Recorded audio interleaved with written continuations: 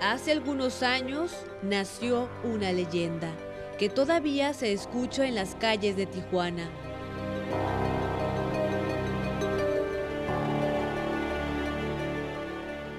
Una mujer, a la que llamaban la enlutada, pedía limosna de casa en casa, cubriendo su rostro, lo que le daba un aire misterioso.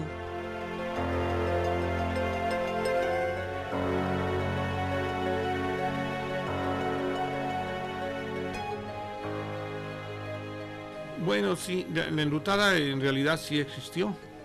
En realidad se trataba de una mujer, eh, Torabeja le da otro sentido, pero eh, simple y sencillamente se trataba de una mujer que había escapado de algún leprosario, creo que de la ciudad de Guadalajara, vestida de negro, por eso se le llamaba enlutada, tapada casi toda la cara, llegaba a alguna casa de la periferia de la ciudad, tocaba la puerta y pedía algo de comer.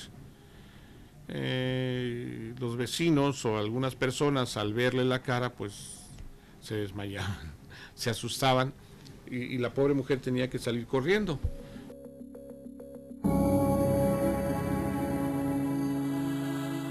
La enlutada empezó a aparecer en todas las colonias de Tijuana. La mujer que se había refugiado en la frontera se encontró con el rechazo de la gente y pronto se convirtió en leyenda.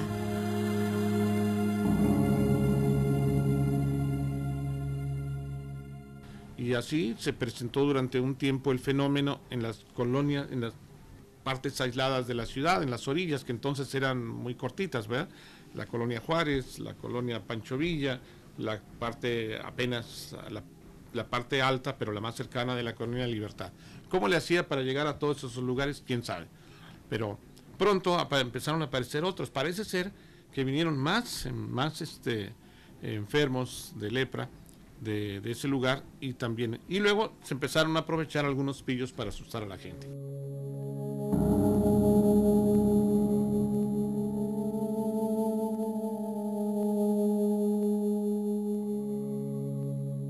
Al escuchar las historias sobre la enlutada, la comunidad empezó a sufrir de paranoia. Se encerraban en sus casas. Al escuchar los toquidos en sus puertas, guardaban silencio hasta que la mujer desaparecía.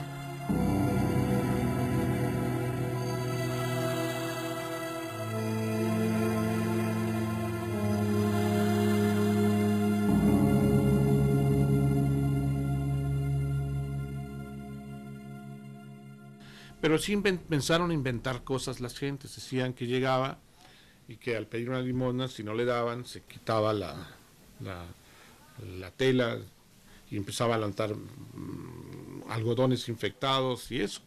Hoy sabemos que la lepra no es contagiosa en ese sentido, pero eso lo... Y entonces la gente lo que, lo que hizo fue cerrar su casa y no abrirle la puerta a nadie. Pero dicen que entonces que dejaba algodones en la puerta y eso, y otras cosas yo creo que producto de la imagine, imaginaría, imaginería popular.